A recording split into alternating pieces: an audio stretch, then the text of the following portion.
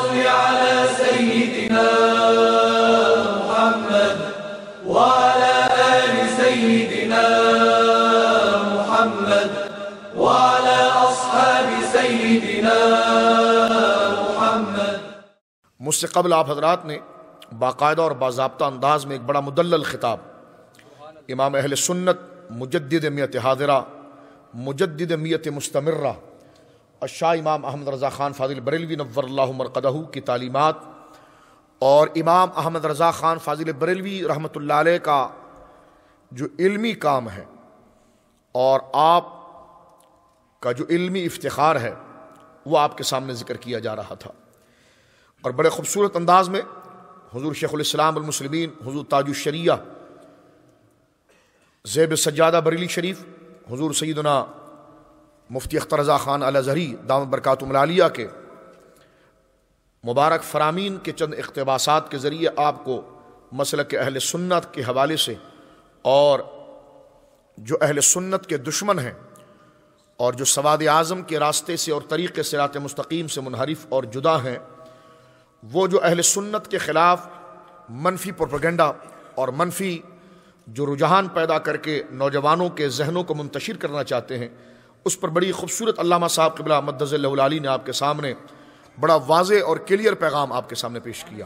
अल्लाह रब्लमीन हज़रत के इल्म में मज़ीद इजाफ़ा फरमाए और इस्तकामत ता फरमाए। हमारी ओलमा का साया चरख अहल सुन्नत पर तादिर कायम उदायम फरमाए।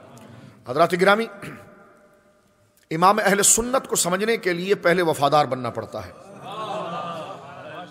जो शख्स हजूर सलाम के साथ वफादारी का जज्बा नहीं रखता जो शख्स हजूर सलाम के साथ मोहब्बत का जज्बा नहीं रखता, वो इमाम अहमद रज़ा को कभी पहचान नहीं सकता। इसलिए कि इमाम अहमद रज़ा फ़ादिल बरेलवी नवरकदहू जिस महाज के सिपाही हैं और जिस मिशन के आप मुबलग हैं, वो सरासर हजूर की मोहब्बत और ज़ात मुस्तफ़ा करीम सल्लल्लाहु अलैहि वसल्लम के साथ वफ़ादारी है। हर वो शख्स जो हजूर सलाम से वफ़ादारी का जज्बा रखता है और ज़ात मुस्तफ़ा करीम सल्लल्लाहु अलैहि वसल्लम से वालहाना और बड़ी गहरी अकीदत रखता है वह इमाम अहमद रज़ा से कभी गाफिल नहीं रह सकता। इमाम अहमद रज़ा ख़ान फ़ादिल बरेलवी नवरकदहू ने, मैं इख्तसार के साथ चंद बातें अर्ज़ कर दूँ। सरकार दो आलम वसल्लम की बारगाह में एक नात में एक शेर लिखा था कि जो तेरे दर से यार फिरते हैं, दर बदर यूँ ही ख्वार फिरते हैं, कि जो रसूल करीम अलैहि वसल्लम के दरबार से हट गया और जिसने हजूर सलाम को छोड़ दिया तो फिर उसे कोई सहारा नहीं मिलता। और वो दर बदर यूँ ही ख्वार फिरता है। मैं ये कहता हूँ कि ये नात बतौर मनकबत के इमाम अहमद रजा को मिली है। रज़ी अल्लाह तन कि जो इमाम अहमद रजा की तालीमत से फिरता है तो फिर वो दर बदर यूँ ही ख्वार फिरता है। तो ये नात का शेर बाकायदा इमाम अहमद रजा के लिए मनकबत बनकर आता है। तो हम हजूर सलाम की नियाबत में और हजूर सलाम की ताबीयत में ये बात इमाम अहमद रजा के लिए कह सकते हैं कि ए इमाम, जो तेरे दर से यार फिरते हैं, दर बदर यूँ ही ख्वार फिरते हैं। क्योंकि इमाम अहमद रजा किसी जदीद मसलक, या किसी जदीद मज़हब, किसी नए तालीम के मुबलिक नहीं, बल्कि सवाद आज़म और दरबार मुस्तफ़ा करीम सल्लल्लाहु अलैहि वसल्लम से सहाबा के ज़रिए, ताबईन के ज़रिए आइम्मा मुश्तहिदीन के ज़रिए और अलिया कामिलीन के ज़रिए, जो तसलसल के साथ, जो सच्चा दीन आ रहा था, उसी कड़ी को आगे पहुँचाने वाली शख्सियत का नाम इमाम अहमद रजा है। इमाम अहमद रजा का लकब है मुजद्दिद। और मुजद्दिद की काफ़ी डिफिनेशन और तारीफ़ यहाँ पर हो चुकी है। मैं सिर्फ़ इसको एक पैराए में यह भी अर्ज़ कर देना चाहता हूँ कि मुजद्दिद उसको कहते हैं, जो अपनी राय पेश करे, उसको मुजद्दिद नहीं कहते। जो कहे, मेरा ये नज़रिया है, उसको मुजद्दिद नहीं कहते। मुजद्दिद उसको कहते हैं कि ज़ुबान उसकी होती है और कलाम पिछली सदियों का रहा होता है। इमाम अहमद रजा फाजिल बरेलवी नबरकदहू मुजद्दिद हैं। मुजद्दिद और मुहर्रिफ, इसमें एक फ़र्क है। मुहर्रिफ वो होता है जो दीन को बदलता है, जो पिछला दीन पीछे से चला आ रहा है। उनकी बातों को रोक कर वो अपनी राय, अपनी बिदात, अपनी गलत तशरीहात और गलत इंटरप्रिटेशन उसके अंदर शामिल करता है। वो मुहर्रिफ है। और जो दीन को बड़ी कुत और हिम्मत के साथ और बड़ी जुर्रत और मतानत और इखलास के साथ उस तरह पहुंचाता है, जिस तरह दीन चला आ रहा है, उस अजीम हस्ती और की जमात को सरखैल और इमाम को मुजद कहा जाता है। तो इमाम अहमद रजा खान, फाजिल बरेलवी नवरकदहू आए तो इस सदी के अंदर हैं। लेकिन जो पैगाम उन्होंने अता फरमाया है, वो पिछली तेरह सदियों का है। आपकी कोई भी किताब, आपका तरीक इस्तदलाल, किसी भी मौजू पर जब आप इस्तदलाल करते हैं, उसको साबित करने के लिए कोशिश करते हैं तो आपके फतावे दिन के रोशन की तरह मौजूद है। ये हमारा सिर्फ़ दावा नहीं है, और हम दावत देते हैं कि आए, और इमाम अहमद रजा की किताबें ऐसी नहीं कि जिसको तुमने तुम्हारे मौलवियों की तरह जो छुपा छुपा के रखी है और बाद में उसको चेंज करते रहते हो? नहीं। इमाम अहमद रजा ने जो तहरीरात लिखी है, वो उस दौर से लेकर इस दौर तक तकरीबन सौ साल का अरसा हो चुका है। उन किताबों में सबसे बड़ा शाहकार फतावा रजविया है। उसको अगर आप उठाकर देखें, मेरे दोस्तों, अकीदे का मसला तो अकीदे का मसला है। फ़िकी इस्तदलाल भी अगर इमाम अहमद रजा करते हैं तो वही इस्तदलाल का तरीक होता है जो सलाफ उम्मत का रहा है। अगर अकीदे के किसी मौजू पर इमाम अहमद रजा गुफ्तु करते हैं तो सबसे पहले उस मसले को साबित करने के लिए कुरान लाते हैं कि कुरान उसके बारे में यह कहता है। हदीस रसूल के अंदर उसके लिए ये शवाइद और ये उसके लिए दलाइल मौजूद है। फिर आइमा मुश्तदीन की किताब के अंदर और आइमा कलाम कलाम की तशरीहात और ताबीरात में ये जुज मौजूद है। तो उस तसलसल के साथ आप उस मसले को लाकर साबित करते हैं। इमाम अहमद रजा का कोई मसला ज़ाती राय पर नहीं होता है। वो उम्मत के अकबाल और फरामीन पर होता है। और ये क्यों होना चाहिए नौजवानों? मेरे दोस्तों, मेरे भाइयों, ये कुरान का हुक्म है। वो कून उमा सादिकीन, सच्चों के साथ जुड़ जाओ। अब सच्चों के साथ जुड़ जाओ से क्या मुराद? हमने गौस आज़म का दौर तो नहीं पाया। ना हमने ख्वाजा साहब को देखा। ना हमने हज़रत मुजद पाक को देखा। ना हमने हज़रत इमाम हुर्रियत फजल खैराबादी को देखा। ना हमने इमाम सुन्नत शाह अब्दुल अज़ीज़ को देखा। ना हमने बर सग़ीर के इन कदवर, सरखैर सुन्नत को देखा तो इनके साथ जुड़ेंगे कैसे? फ़िज़िकल तौर पर तो हम इनके साथ नहीं है तो कैसे जुड़ेंगे? तो मुफसरीन इसकी तशरी करते हैं, वो कौन सादिकीन उनकी नज़रियात की इतबा करो। उनके अफकार की इतबा करो। उन्होंने जो नज़रियात दिए हैं, उसकी इतबा करो। तो ये इसलिए क्यों ज़रूरी है? इमाम अहमद रजा को मानना। इमाम अहमद रजा को मानना, ये कुरान ने ज़रूरत करार दिया है कि जुड़ जाओ उनके साथ। जिनकी फ़िक्र दामन मुस्तफ़ा के साथ जुड़ी हुई है।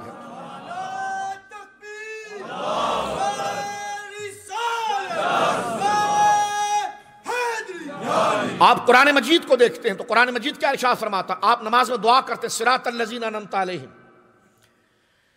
या अल्लाह, चलेंगे उनके रास्ते पर जिन पर इनाम हुआ है। हम कहते हैं, जो यह अहल सुन्नत के दुश्मन है, मैं कहता हूँ कि खुदा से भी तुम मुनाफिकत करते हो। नमाज़ में तुम वादा करते हो कि सीधे रास्ते पर चलेंगे और सीधा रास्ता उनका है, जिन पर तूने इनाम किया। और नमाज़ से बाहर आने के बाद कहते हैं, कुरान से इस्तलाल करें, हदीस से इस्तलाल करें। मैंने कहा, अगर कुरान और हदीस से इस्तलाल करना था तो नमाज़ में वादा क्या किया कि चलेंगे उनके रास्ते पर जिन पर इनाम हुआ है? अब जरा ये बता, तूने कुरान ज़्यादा समझा या उन लोगों ने कुरान ज़्यादा समझा जो सीधे रास्ते पर चल रहे थे? तो लिहाजा इजमाय उम्मत और उम्मत के शराजे को मुतहिद करने का एक ही तरीका है कि उन्हीं ताबीरात को, उन्हीं तशरीहात को और उन्हीं एक्सप्लेनेशन जो उम्मत ने पहले दे दी है, उसको लाकर रखा जाए ताकि फिरका वारियत ना हो। हम एक तस्वीर के दाने के साथ जुड़ जाए, जो अकीदा सारी उम्मत बोलते हुए आ रही है। हम भी उसके साथ जुड़कर वही अकीदा बयान करें। तो ये इमाम अहमद रजा, चाहे तोहहीद के बारे में आप देख लें, चाहे अकीदा रिसालत को देख लें, चाहे अकीदा आखिरत को देख लें चाहे फ़जाइल साहबा और साहबा के अंदर मदारी जो दर्जात को देख लें, चाहे अहल बैत की खूबियाँ और उनके फ़जाइल को देख लें, चाहे अम्मा मुश्तदीन के इश्तहाद के साथ तमस्क और ताल्लुक़ को देख लें, इमाम अहमद रज़ा की किताबों में वही बात नज़र आएगी जो कई सदियों से चली हुई आई है। मैं ये कहता हूँ कि इमाम अहमद रज़ा को पढ़ने से पहले मैं दावत फ़िक्र देता हूँ बर सग़ीर के उन को पढ़िए, जिन पर हर मकतबा फ़िक्र सुन्नी होने में मुतफ़ है। मैं दावत फ़िक्र देता हूँ कि आओ, नाजी गुरोह और नाजी जमात जन्नत में आने जाने वाली जमात सिर्फ़ अहले सुन्नत है। अब अहले सुन्नत किसी दुकान का नाम तो नहीं, अहले सुन्नत किसी मकान का नाम तो नहीं, अहले सुन्नत अकीदे का नाम है। समझ रहे हैं आप? अहले सुन्नत अकीदे का नाम है। हम दयाबना से और सल्फियों से यह कहते हैं कि हमारे पास आओ और बैठ कर यह बात ज़िक्र करो कि तुम्हारे नज़दीक अहले सुन्नत का मैार क्या है? और वो कौन से अकीदे हैं और वो कौन सी शख्सियत है इस चौदह सदियों के अंदर कि जिन्होंने अहल सुन्नत का फ़रोग किया है, उस शख्सियत का नाम लो और उसकी किताब पढ़ो और उसमें वो तमाम मुतनाज़ा मसाइल जो आज मुनाजरा और मुबासा और डिबेट का मौजू बनी हुई है, वो उनकी किताबों से पढ़ो और फिर इमाम मोहम्मद रजा को पढ़ो। अगर वो चीज़ उसमें ना पाई जाए तो फिर हमसे कहना। तो दीन की तब्दीली इमाम मोहम्मद रजा के वहाँ नहीं हुई, थाना भवन में हुई है। गंगोह और अम्बेठ में हुई है, नानोता के अंदर हुई है। इमाम अहमद रजा आए तो बरेली के अंदर थे, लेकिन पैगाम वही बयान किया है जो नजब अशरफ से आया था, बगदाद मोल्ला से आया था, अजमेर मुकदस ये इमाम अहमद रजा खान फाजिल बरेली रज़ी अल्लाह तन का तफरुद है। इस पर मैं एक ही बात आपकी खिदमत में मजीद अर्ज़ कर देता हूँ। देखिए, मौलवी अशरफ अली थानवी के जो पीर मुर्शिद हाजी इमदादुल्ला महाजिद मक्की कही रहमत अब देखें हम हाजी साहब जो है, हाजी इमदादुल्ला महाजिद मक्की रहमल्ला हम उनके मुरीद को नहीं मान रहे। अगर ये इख्तलाफ जाती होता, अगर ये इख्तलाफ हसद का होता, अगर ये इख्तलाफ किसी जाति उलझन का होता तो हम पीर, मुरीद को नहीं मान रहे तो पीर को क्यों माने? लेकिन आप देख रहे हैं कि हम मुरीद को तस्लीम नहीं कर रहे, लेकिन उनके पीर जो है, हाजी इमदादुल्ला उनको हम रही कह रहे हैं। उनको हम जन्नती कह रहे हैं, उनको हम रहमत की दुआ कर रहे हैं तो पता चला ये इख्तलाफ जाति नहीं है किसी नज़रिए पर है। वरना तो जाति जब होता है तो बंदा फिर सबका इनकार करता है। लेकिन हम थानवी की तशरीहात का इनकार करते हैं। हम नानोतवी की तशरीहात का इनकार करते हैं। हम अम्बेठवी की तशरीहात का इनकार करते हैं। हम नीचे असागिर जो हैं और जो देवबंद के सरखैल हैं, उनका इनकार करते हैं। लेकिन जिनसे वो जुड़े हुए थे हाजी साहब उनका हम इनकार नहीं करते। क्यों? इसलिए नहीं करते कि देवबंदियों की नीचे की जो जो थानवी, गंगोही, नानोत्वी नामी जो लोग हैं, इनकी किताबों में वो अकीदा है जो चौदह सदियों का नहीं था, और हाजी साहब की किताबों में वो अकीदा है जो चौदह सदियों का था। तो हम तो जुड़ेंगे उनके साथ, जो सिरात मुस्तकीम के साथ जुड़ा हुआ है, जो पूरी उम्मत के साथ जुड़ा हुआ है। इस पर एक आप हाल देखिए। हाजी इमदादुल्ला महाजिर मक्की के मुरीदों में अशरफ अली थानवी का भी नाम आता है। रशीद अहमद गंगोही का भी नाम आता है, खलील बंद बेटवी का भी नाम आता है, मौलाना अब्दुलसमी रामपुरी का भी नाम आता है लुत्फुल्ला अलीगढ़ी का भी नाम आता है, हज़रत मौलाना सैयद करामत अली शाह साहब का भी नाम आता है दहलवी ये तमाम हाजी साहब के मुरीदीन हैं, लेकिन आप देखिए, मौलाना करामत अली दहलवी ये बहुत बड़े हाजी साहब के खलफा में, अजिल्ला खलफा में शुमार होता है।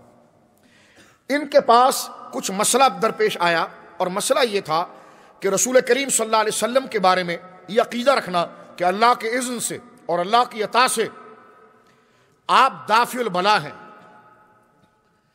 आप चाहें तो अल्लाह के इज्न से बलाओं को रद्द कर देते हैं, मरीजों को शिफा दे देते हैं, जो दूध ताज के अंदर है। दाफिल बलाए वल वबाए वल कहते वल मरद वल अलम।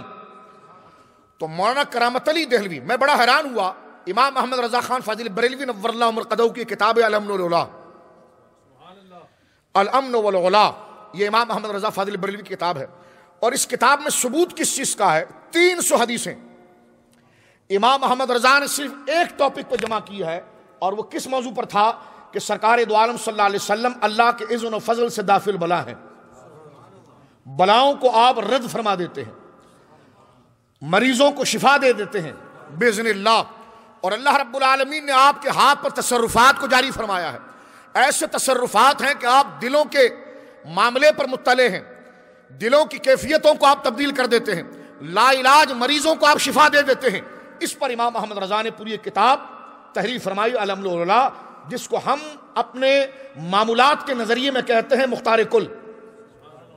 रसूल करीम वसल्लम का मुख्तार कुल होना, सरकार अलैहि वसल्लम का मुश्किल कुशा होना, इस नज़रिए पर इमाम अहमद रजा ने किताब लिखी है। उस किताब का नाम है अल अमन वला लेकिन आपको हैरानगी बड़ी होगी कि जब आप इस किताब को लिखने की वजह को जानेंगे कि आखिर यह किताब इमाम अहमद रजा ने क्यों लिखी, इसकी क्या वजह पेश आई। तो यह किताब दरअसल एक सवाल के जवाब में है। इमाम अहमद रजा से बाकायदा एक सवाल किया गया था, उसके जवाब में इमाम अहमद रजा ने लिखा लिखा तो तीन सौ हदीसें जमा हो गई। वो सवाल क्या था? सवाल यह था, सुनिए जरा गौर से सवाल यह था कि हमारे इलाके में कुछ लोग सवाल करने वाला मुस्तफ्ती साहिल जो है सवाल कर रहा है वो सवाल ये कर रहा है कि हमारे इलाके में कुछ लोग ऐसे हैं जो कहते हैं कि दुरुद दुरुद ताज पढ़ना शिरक है। और रसूल करीम सल्लल्लाहु अलैहि वसल्लम को भी इज़ अल्लाह के इज़न के साथ भी दाफिल बला और शाफिल अमरात कहना शिरक है। और यह कहना कि हुजूर शिफा देते हैं अल्लाह के इज़न से ख्वा अल्लाह का इज़न कहा जाए, तब भी शिरक है।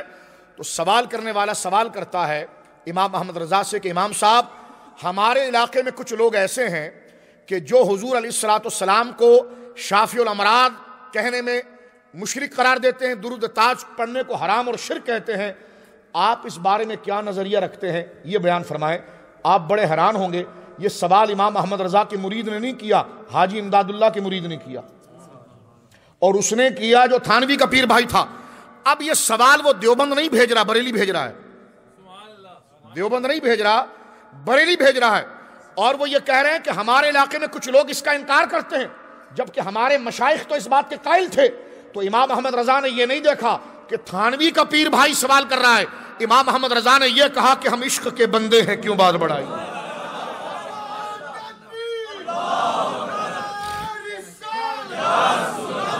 उस पर इमाम अहमद रजा खान फाजिल बरेली कदहू ने उसका जवाब मरहमत फरमाया, और ये साबित किया कि देवबंद में बैठे हुए वो लोग अकीदा तब्दील कर रहे हैं। नाम अहले सुन्नत का लेकर, नाम अहले सुन्नत का है। सिर्फ़ लेबल है, अंदर की प्रोडक्ट कुछ और है, अंदर की चीज़ें कुछ और है कि कि शहद दिखाए, जहर पिलाए। सोना जंगल रात अंधेरी, छाई बदली काली है। सोने वालों जागते रहना चोरों की रखवाली है। दाढ़ी की सूरत में डकेत आ गया है। चोर चोर अंदर से चोर है, लेकिन जुब्बा पहना हुआ है। दाढ़ी उसने रखी हुई है। मस्जिद में आकर बैठा है। उसकी चोरी कैसे पकड़ी जाएगी? उसकी चोरी दाढ़ी से नहीं पकड़ी जाएगी। दाढ़ी तो सिख भी रख लेता है। पता कैसा चलेगा, ये दाढ़ी इस्लाम वाली है या सिखों वाली है? वो अकीदे से पता चलेगी। तो वो अकीदा किसका है? इमाम अहमद रजा का है। और मैं अपनी गुफ्तु को ख़त्म करते हुए एक बात यहाँ पर कर दूँ। हज़रत ये एक बात याद रखें आप। पर अगर आप अहले सुन्नत को समझना चाहते हैं तो हर बंदा अपने आप को अहले सुन्नत कहता है। हम अहले सुन्नत, हम अहले सुन्नत। हमारे वहाँ पर पाकिस्तान में चंद खारजी टोला जो है, वो अपने आप को अहले सुन्नत, बल्कि हैरानी है, अहले सुन्नत तो पूरी जमात का नाम है, उसने अपनी तंजीम बनाई। अहले सुन्नत वल जमात। मैंने कहा, तुम्हारी अरबी भी ठीक नहीं है, क्या जमात पर अलीफ्लाम लिखते हो? सुन्नत पर अलीफ्लाम नहीं लिखते तुम? हाँ। अब जमात पर तो अलीफ्लाम है। लेकिन वो लफ्ज सुन्नत पर जो है, उस पर अलीफ्लाम नहीं है और कहता है, अहले अहले सुन्नत वल जमात। तो मैंने कहा, ये इसलिए आपने ये जमात पर भी अलीफ्लाम रखने की क्यों जहमत गवारा की? और इस अलिफ्लाम को आपने किस माने में लिया है? और ये वाव को आप किस माने में ले रहे हैं? और ये सुन्नत जो है, वो तरकीब नहवी के अतबार से आपके नज़दीक क्या दर्जा रखता है? तो ये पक्के खारजी हमारे इलाके में है। पहले उन्होंने अंजुमन सिपा साहबा बनाई। ठीक है? नाम साहबा का लेकर उन्होंने दहशत गर्दी की। लोगों को मारा, कत्ल किया। और काफिर काफिर, शिया काफिर कहकर पूरे पाकिस्तान के अंदर एक बाज़ार गर्म किया, जबकि हमने कहा कि तुम तो अपने अकाबिर से खुद गुत्तम गुत्ता हो। मैंने कहा, अगर हम इमाम मोहम्मद रजा की बात करें, अल्लामा शामी साहब इमाम मोहम्मद रजा की बात करें, ये मुनवर और रोशन चेहरे ओलमा जो हैं, ये अगर इमाम मोहम्मद रजा की बात करें तो बात समझ में आती है। क्यों? इसलिए कि जो ये बयान कर रहे हैं, वही इमाम मोहम्मद रजा ने लिखा है। और इमाम मोहम्मद रजा जो बात कर रहे हैं, वही उनके उस्ताजों ने लिखा है। उनके उस्ताज जो बात कर रहे हैं, वही अलिया ने लिखा था। अलिया जो बात कर रहे हैं, वही तो साहबा ने कहा था। और साहबा ने वही तो बात की थी जो नबी पाक ने की थी। तो ये एक तसलसल है। लेकिन वहाबी अगर शिया को काफिर कहे तो यह बात समझ में नहीं आती। क्यों? इसलिए कि इनके अकाबिर कुछ कहते हैं, ये कुछ कहते हैं। ये तो सऊदिया की एड पर, पाकिस्तान के माहौल को खराब करने के लिए काफिर काफिर, शिया काफिर के नारे लगा रहे हैं। जबकि इनके जितने अकाबिर हैं, वो शियों को मुसलमान समझते थे। इस पर मैंने एक तहरीर भी लिखी थी कराची के अंदर, अखबार में शाया भी हुई, कि सिपा साहबा अपने अकाबिर से गुत्तम गुत्ता। यानी इनका हाथ अपने अकाबिर के गिरबान पर है और उनके अकाबिर का हाथ इनकी डाड़ियों के ऊपर है और ये दोनों झगड़ा कर रहे हैं। और दोनों हालत, क्यों? इसलिए कि मैं ये कहता हूँ कि तुमने सऊदिया का और गैर मुकलदीन का चरबा बनकर जो तुमने यह कहना शुरू कर दिया कि काफिर, शिया काफिर, और फिर अहले सुन्नत को तुमने ताना दिया कि तुम शियों के एजेंट हो माजल्ला तो मैं पूछता हूँ कि जब तुम्हें ज़रूरत पेश आती है मुकदमा पेश करने की, कि रावजिया तबर्राई जो है, उसका इस्लाम से कोई ताल्लुक नहीं तो बर्र सगीर के मुताखरीन ओलमा में तुम्हें जिसका हवाला देना पड़ता है, वो हवाला इमाम अहमद रजा की ज़ात है।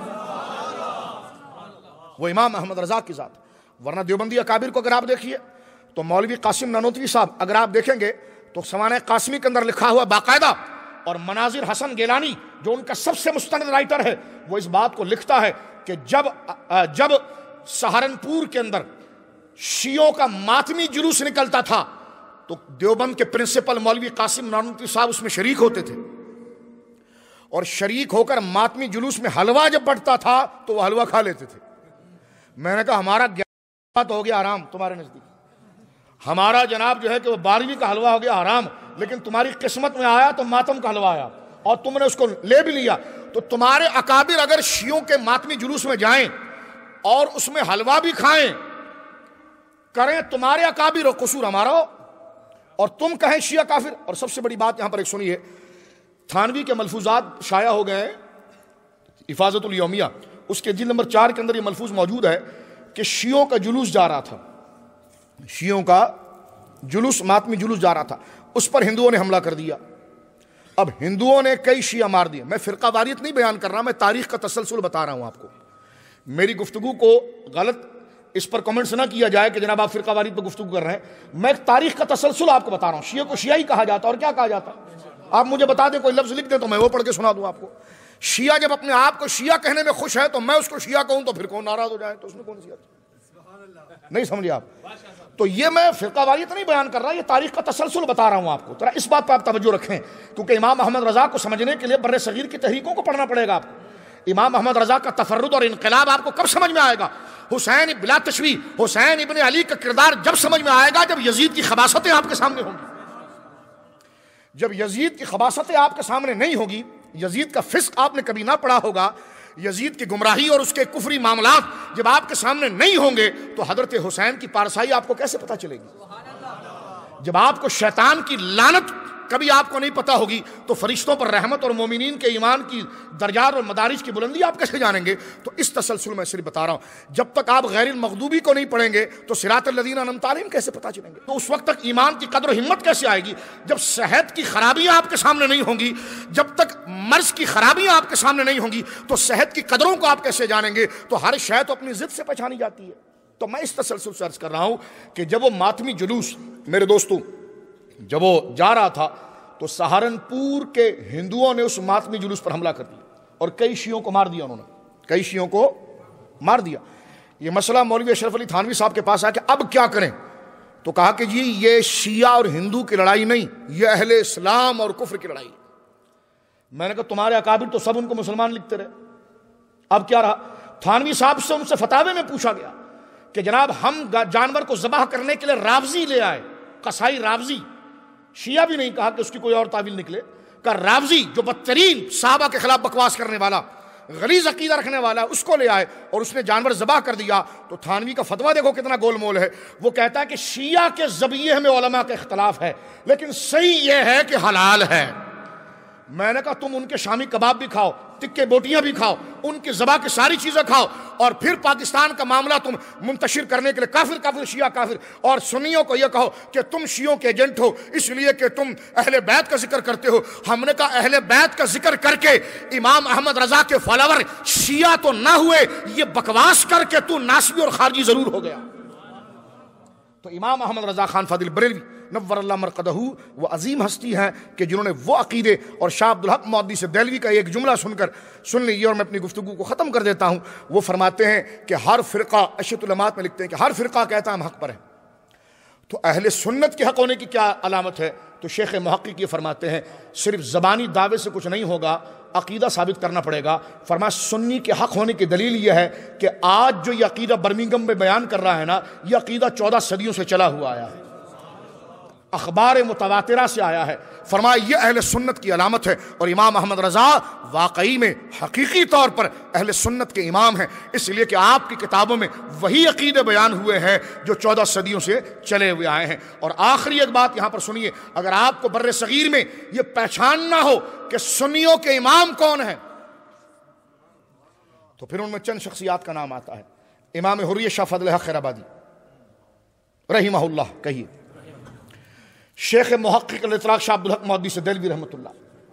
सरकार मुजद्दिद अल्फसानी रहमा हज़रत शाह अब्दुल अज़ीज़ मोहदी से दिलवी रहमतुल्लाह ये चार ये शख्सियात हैं जिस पर कोई इख्तलाफ नहीं करता। कोई इख्तलाफ नहीं कर सकता। हर शख्स ये कहता है कि जनाब, ये बर सगीर के अंदर अहल सुन्नत के आइमा में है। मैं कहता हूँ, जिस मसले में तुमने फड्डा डाला हुआ मिलाद, हाजिर नाजिर इल्म गैब फातहा ये सारी चीज़ें मैं कहता हूँ, लिस्ट बना कर लाओ। इन चारों बुज़ुर्गों की किताब उठाकर पढ़ो। इन्होंने इस मसले के बारे में क्या लिखा है? उसके बाद इमाम अहमद रजा को पढ़ो। अगर वो चारों की बातें बैक वक्त अकेले इमाम अहमद रजा की किताब में ना हो तो जो चोर की सजा, वो हमारी सजा।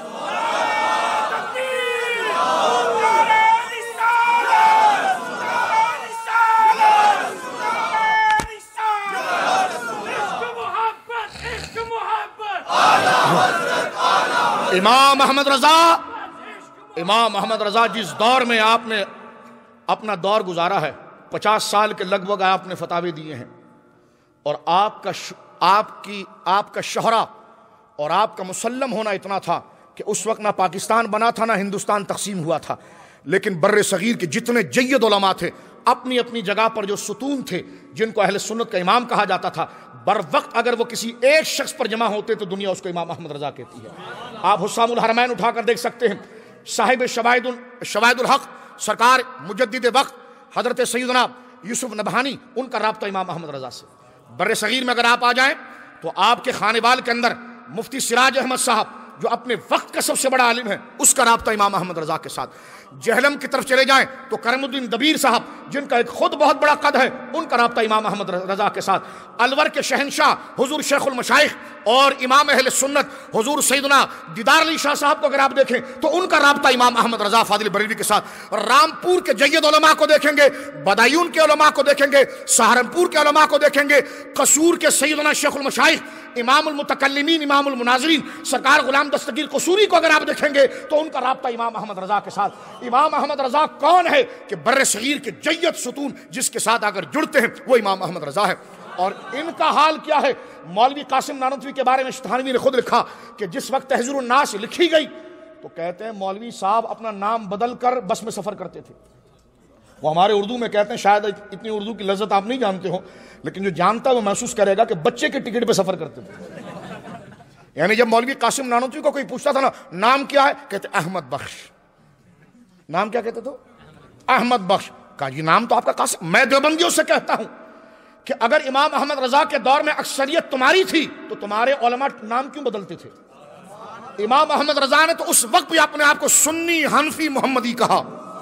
और आज भी यही कहा तो मुझे कहने दीजिए, मैं इस गुफ्तगु पर, इस शेर पर अपनी गुफ्तगु ख़त्म करता हूँ कि कहने वाले ने इमाम अहमद रज़ा की सीरत का अहाता करने की कोशिश की, लेकिन बहुत खूबसूरत एक, उसका एक नक्शा खींच दिया कि वादी रज़ा की कोहे हिमालय रज़ा का। वादी रज़ा की, यानी वादियाँ अगर इल्म की है तो वो भी इमाम मोहम्मद रज़ा के साथ है। और हिमालय जैसे कदावर लोग जो हैं, यानी वादी से मुराद, अफराद और कोहे हिमालय से मुराद वो मज़बूत आइम्मा, इसको इस ताबिर से ले लिए। तो फरमाया कि वादी रजा की, कोहे हिमालय रजा का है। अरे जिस समत देखिए, वो इलाका रजा का है। अल्लाह रब्बुल आलमीन हमें इन सालहीन के साथ, असलाफ के साथ जोड़े रखे। अल्लाह मेरा और आपका हामी नासिर हो। वाखरुदावाना अनिलहमदिल्ला रब्बिल आलमीन।